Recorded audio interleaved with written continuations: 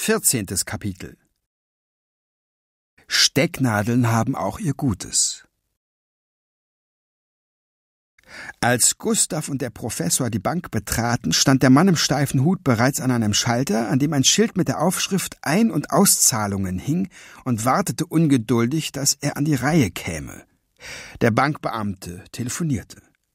Der Professor stellte sich neben den Dieb und passte wie ein Schießhund auf. Gustav blieb hinter dem Mann stehen und hielt die Hand zum Hupen fertig in der Hosentasche. Dann kam der Kassierer an den Schalter und fragte den Professor, was er wolle. Bitte sehr, sagte der, der Herr war vor mir da. Sie wünschen, fragte der Kassierer nun Herrn Grundeis. Wollen Sie mir bitte schön einen Hundertmarkschein in zwei Fünfziger umtauschen und für vierzig Mark Silber geben? Fragte dieser, griff sich in die Tasche und legte einen Hundertmarkschein und zwei Zwanzigmarkscheine auf den Tisch.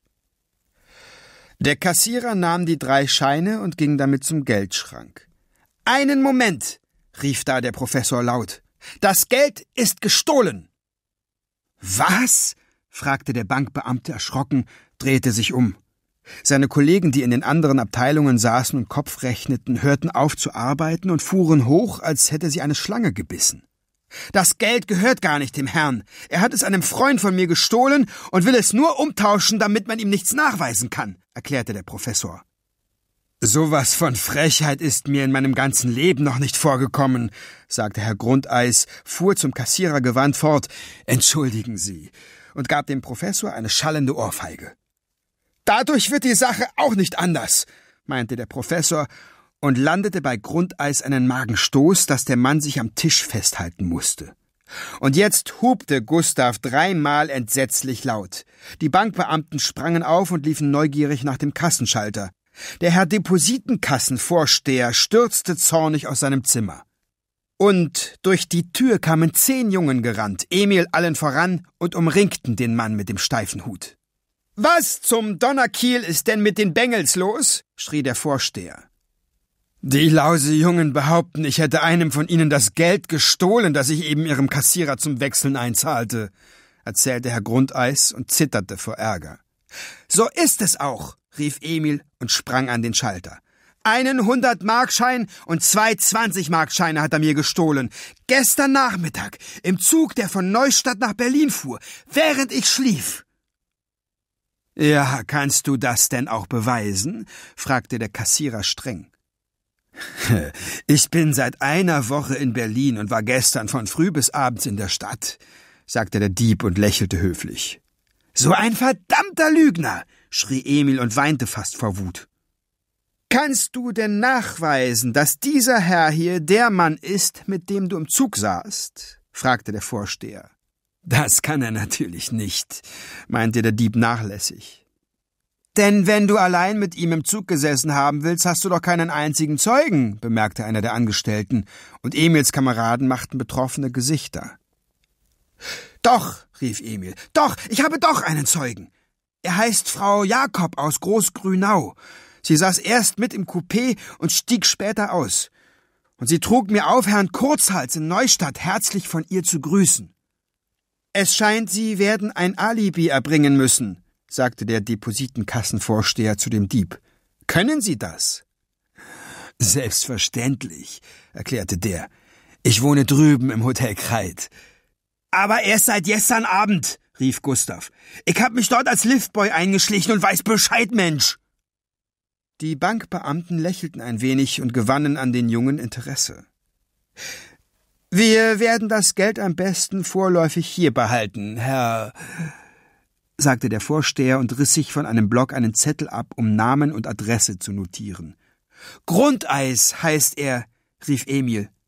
Der Mann im steifen Hut lachte laut und sagte, da sehen Sie, dass es sich um eine Verwechslung handeln muss. Ich heiße Müller.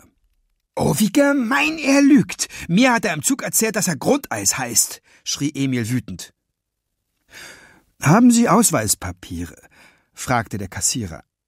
Leider nicht bei mir, sagte der Dieb, aber wenn Sie einen Augenblick warten wollen, so hole ich Sie aus dem Hotel herüber. Der Kerl lügt fortwährend, und es ist mein Geld, und ich muss es wiederhaben, rief Emil.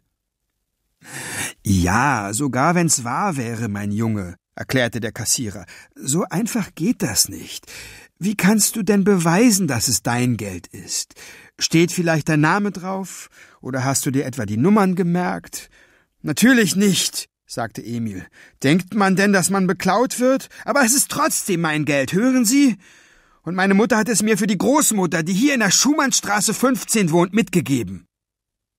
War an einem der Scheine eine Ecke abgerissen, oder war sonst etwas nicht in Ordnung? Nein, ich weiß nicht. Also, meine Herren, ich erkläre Ihnen auf Ehrenwort. Das Geld gehört wirklich mir. Ich werde doch nicht kleine Kinder ausrauben, behauptete der Dieb.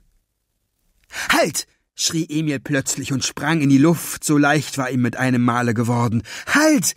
Ich habe mir im Zug das Geld mit einer Stecknadel ins Jackett gesteckt, und deshalb müssen Nadelstiche in den drei Scheinen zu sehen sein. Der Kassierer hielt das Geld gegen das Licht. Den anderen stockte der Atem. Der Dieb trat einen Schritt zurück. Der Bankvorsteher trommelte nervös auf dem Tisch herum. Der Junge hat recht, schrie der Kassierer blass vor Erregung. In den Scheinen sind tatsächlich Nadelstiche. Und hier ist die Nadel dazu, sagte Emil und legte die Stecknadel stolz auf den Tisch. Gestochen habe ich mich auch. Da drehte sich der Dieb blitzschnell um, stieß die Jungen links und rechts zur Seite, dass sie hinfielen, rannte durch den Raum, riss die Tür auf und war weg.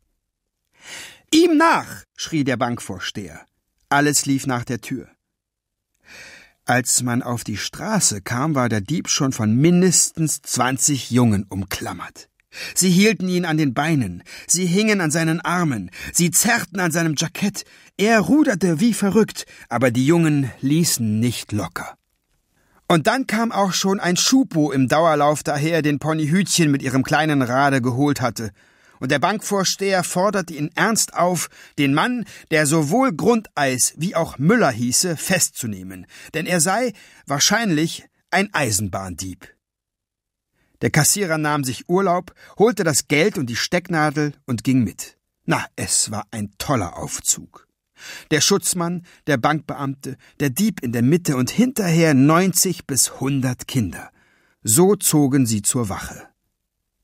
Ponyhütchen fuhr auf ihrem kleinen vernickelten Fahrrade nebenher, nickte dem glücklichen Vetter Emil zu und rief Emil, mein Junge, ich fahre rasch nach Hause und erzähle dort das ganze Theater. Der Junge nickte zurück und sagte Zum Mittagessen bin ich zu Hause. Grüße schön. Ponyhütchen rief noch Wisst ihr, wie ihr ausseht? Wie ein großer Schulausflug. Dann bog sie heftig klingelnd um die Ecke.